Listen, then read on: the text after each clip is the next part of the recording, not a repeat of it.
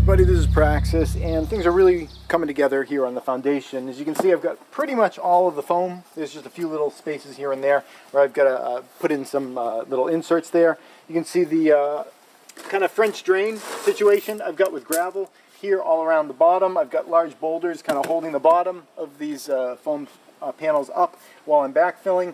Uh, and on top of the gravel and boulders, I'm uh, doing uh, like landscape fabric uh, where I can. I had a little bit of uh, fabric uh, kicking around, but where I ran out of that, I've just been using the bags, the concrete uh, bags. I had a whole pile of them there. burying them is a good way of getting rid of them, and I was able to kind of use those, and they'll be kind of like a sediment barrier. you know, they'll, they'll break down over time, but I think they'll, they'll you know, they'll do a reasonable job of it, and uh, they're free. And I had to had to get rid of them anyway. Overall, I'm really pleased with the way that the thing came out. I, I still wish that I could have hired someone to do this because it would have been done so much faster. I think they, they could have had it done in like uh, you know less than a week. Could have put the thing together. I think all in it took me about 10 days, but I saved $5,000. Uh, it was $5,000 less for me to just buy the materials than to hire someone out to do it. And uh, it's unfortunate. A lot of times I would like to hire uh, you know someone, give someone some work, uh, you know have something uh, get done faster and easier for me. But uh, you know, with a lot of contractors and professionals, they uh, they they elevate their prices to such such a degree that it's just it's kind of uh, unjustifiable for someone that knows that they could do it themselves. Uh, you know, I just couldn't justify paying someone extra five thousand dollars in order to do this for me when I knew that I, I, I, could do it. It took me about 10 days to do it, not even full days, you know, 10 part days to throw this together. So I, I paid myself $500 a day for, you know, for, for these part days.